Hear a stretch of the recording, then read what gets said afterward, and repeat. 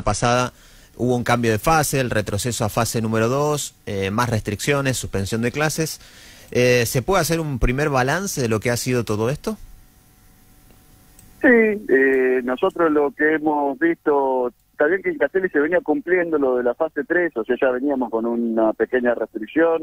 La fase 2 lo que implica es, obviamente, no se puede realizar actividades en espacios cerrados, eh, la presencialidad en las escuelas se suspende y los comercios debieron cerrar a las 19 horas. O sea, no, no, no es muy diferente a la fase anterior, sí la gran diferencia es la presencialidad en las escuelas.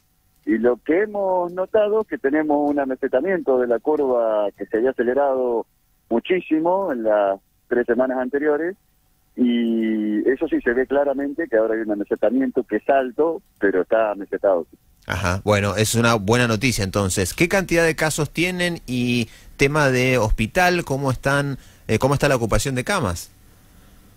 Eh, en este momento pasamos de tener 128 casos activos, ahora nos quedan 103 casos activos. No tenemos casos en estudio, por suerte, para en un día de ayer no tuvimos ningún hisopado. Eh, y, el, y el hospital se fue obviamente descomprimiendo en la última semana.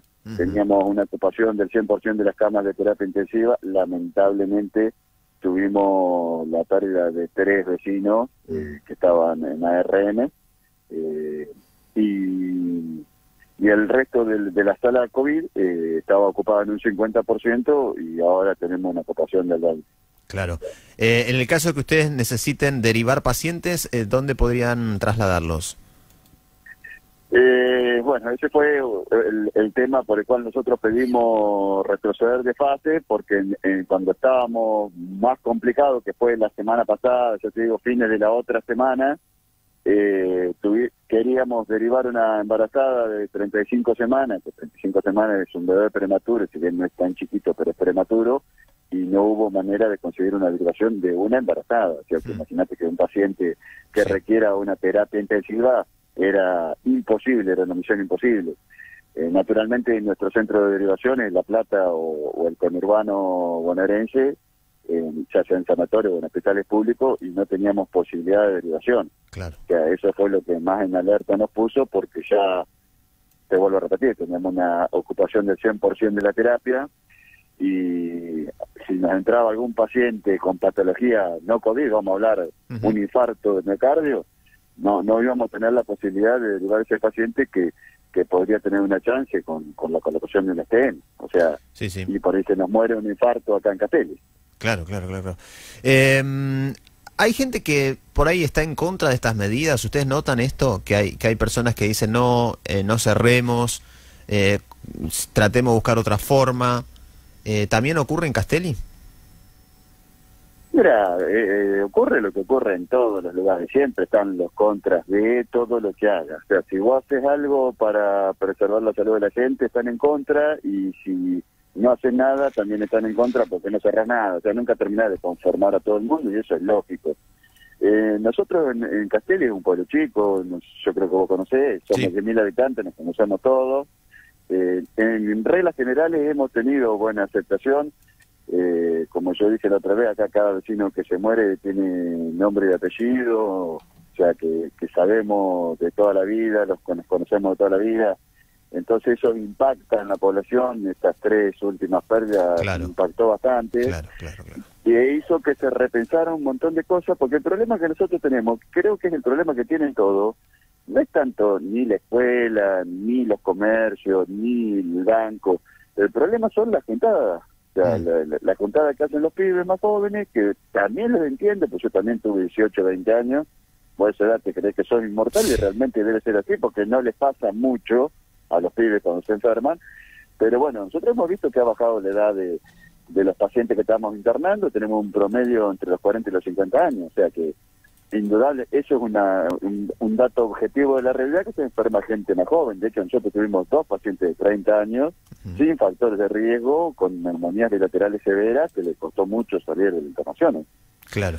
Doctor, ¿cómo están con la vacunación?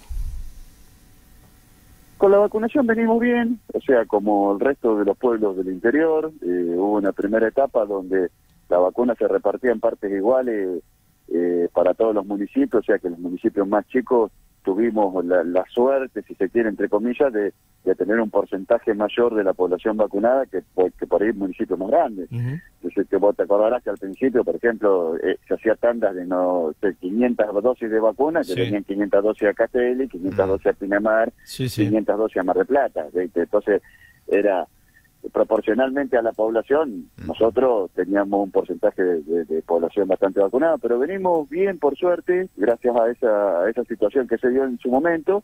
Ahora medio que se frenó y, y me parece lógico, ¿no? Nosotros recibimos menos vacunas que el conurbano y es algo lógico, pero seguimos avanzando, hemos podido bajar eh, la edad de vacunación a menores de 60 años con factores de riesgo, o sea, la población que, que va de 18 a 59 con, con patologías de riesgo, eh, porque hemos casi vacunado a casi todos los mayores de 60, nos quedarán un pequeño porcentaje, que es lo que no se quieren vacunar, obviamente, o que están dudando uh -huh. y por ahí capaz que la semana que viene se anotan y, y y ya prontamente le llega el turno por la edad. ¿no? Eh, doctor, ¿la ciudad está cerrada? Le pregunto por desconocimiento si hay algún no. control policial, ¿cómo estamos? No, no, no, nosotros no cerramos ninguno de los accesos. Yo te diría que hoy por hoy tenés más probabilidades de venir del conurbano y llevarte un, coro, un coronavírus de Catelli que, que, salir de Catelli y ir al conurbano. No, no, no. Eso ya son medidas que uno se va dando cuenta que a veces son hasta innecesarias, desgastan el personal y demás. Mm. En Castelli hay una altísima circulación viral, por eso pedimos retroceder de fase, porque eh, está demostrado, no lo digo yo solamente, en la revista famosa esta que todo el mundo nombra, que es de Lancet, publicó un ranking, lo pueden buscar, de, de cuáles serían las cosas que mayor efectividad han tenido cuando uno tiene un pico de, de, contagios dentro de las cosas que dicen primero en la cabeza en el ranking están las reuniones sociales que ya eso hay que hay que prohibirlos y debajo de eso dice la presencialidad en las escuelas que lo ha hecho todo el mundo o sea dentro de un conjunto de medidas. Y, y hay otro artículo en la misma revista que dice que eh, cuando uno tiene un aumento súbito de los casos debiera cerrar la presencialidad en las escuelas junto con otras medidas, no no solamente la, cerrar la presencialidad de la escuela. Eh, eh, pero, sí. ¿Hasta cuándo consideran que van a estar en fase 2? Y nosotros, en principio, creemos que van a ser 15 días, estoy casi seguro que van a hacer eso. Arrancamos este lunes nosotros la fase 2. Veníamos cumpliendo bastante bien la fase 3, por eso te digo que ahora estamos en una meseta alta y yo creo que con estos 15 días eh, va a bajar, eh, sin ninguna duda. Bien, ¿y después entonces podría volver a fase 3, Castelli? Sí, sí, sí, tranquilamente. O sea, esto eh, va a ser así, yo creo, durante todo el año. Cuando repuntan los contagios hay que cerrar un poco. Cuando disminuye la cantidad de contagios uno puede ir abriendo actividades. Nosotros lo tenemos planificado así, de la Secretaría de Salud. Uh -huh. No no vamos a hacer esas cuarentenas estrictas de cinco meses, que también se ha visto que no tiene mucho sentido. Hay que restringir eh, el cierre siempre son 15 días más o menos, que es el periodo de incubación viral, o sea, un periodo de incubación viral completo, cosa de que vos puedas eh, frenar la cantidad de contagios, que obviamente no lo vas a dejar en cero, pero uh -huh. por lo menos disminuir a la mitad ya es un, un gran avance. En tema hisopados, ¿cómo vienen? No, no, venimos bien con los hisopados. Nosotros, o sea, con los hisopados venimos para hisopamos a todos los pacientes sintomáticos, no hisopamos asintomáticos como dice la norma de provincia. Uh -huh. Esa otra cosa que escucho yo, que los testeo, que los testeo, que hace falta testeo en la Argentina, yo no estoy muy de acuerdo con eso. Hay que testear lo que hay que testear. O sea, los, los países centrales, los países de, del primer mundo, Inglaterra, Alemania, hacen cientos de miles de testeos. ¿Y el resultado cuál es? Si uno lo analiza, es el mismo que el nuestro, terminan cerrando. Alemania tiene un toque de queda ahora las comparaciones son odiosas, nosotros no nos podemos comparar con Alemania, obviamente, porque ellos tienen otra realidad económica, otra realidad social, o sea, culturalmente son diferentes de nosotros, a nosotros nos cuesta mucho cumplir todas las normas, los argentinos somos así, entonces si vos le decís que retrocede fácil, van a notar hasta lo imposible para hacer trampa, vamos a ser muy bien incluidos porque yo soy argentino, tienen otra cultura, pero yo lo que veo, o sea, no, si van a analizar fríamente lo que se ha hecho, Inglaterra hizo cientos y cientos y cientos de miles de testeos y llegó a tener, no sé, tres mil muertos por día. Entonces, que alguien me explique cuál es el sentido. Ellos dicen hay que testear, hay que vacunar y hay que... Ellos dicen, digo, los periodistas sí, sí, sí. de los medios hegemónicos, de, de nacionales. Y, y yo voy a analizar lo que pasó en el mundo y voy a decir, pero no han tenido un buen resultado los testeos. No sé cuál es el dato que ellos analizan, que a mí se me está escapando, capaz que yo soy ignorante en eso. Si hay países que hacen cientos de miles de testeos, tienen igual cientos de miles, miles de casos y miles de muertos, igual así todo tienen que tuvieron que tomar medidas duras de cerrar meses y meses. Inglaterra cerró, cerró el año pasado, te acordarán, prácticamente tres, cuatro meses. Eh, Israel hizo un, lockdown, hizo un cierre, cuando mm. empezó la, famosa campaña de vacunación de ellos, eh, cerramos todo estrictamente y vacunamos. o sea... Bueno, tuvieron esa gran posibilidad, ¿no? La de vacunar, tuvieron esa gran posibilidad, la de vacunar en forma masiva y hoy están obteniendo los resultados.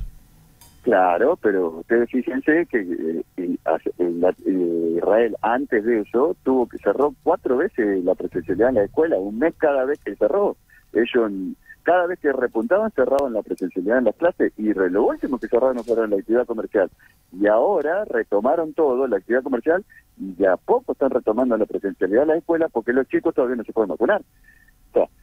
Si lo hacen ellos y, lo, y te lo explican bien por qué lo hacen, nosotros por qué tenemos que hacer cosas diferentes, por qué creemos que hacemos algo diferente nos va a dar un resultado mejor que el de Israel. No, o sea, racionalmente no termino de entenderlo. Pero bueno, son estas cosas que nos pasan a nosotros los argentinos, que tenemos esto, que creemos que tenemos una página más que el libro, cuando tenemos la posibilidad de ver la historia tres meses antes de lo que sucede.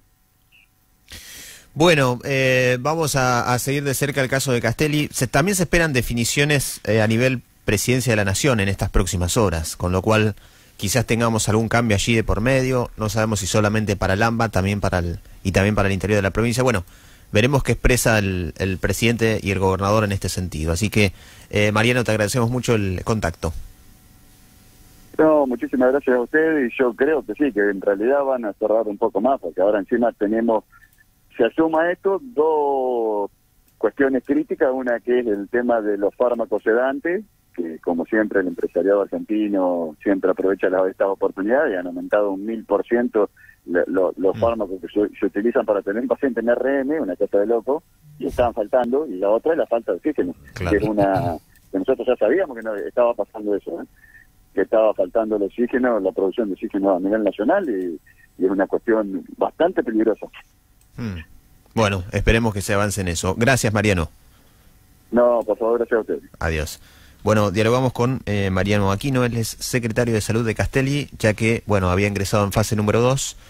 Eh, nos dice que en 15 días, si esto continúa así, se amesetó la curva de contagios, podrían volver a fase número 3. Pero bueno, la decisión, acá en este caso, fíjate la particularidad, fue del intendente de Francisco Echarren de bajar a su municipio de fase. Él le pide a la provincia, señores, por favor, están creciendo mucho los contagios, autorícennos a bajar de fase, ¿sí? Habría que ver qué es lo que piensa la población.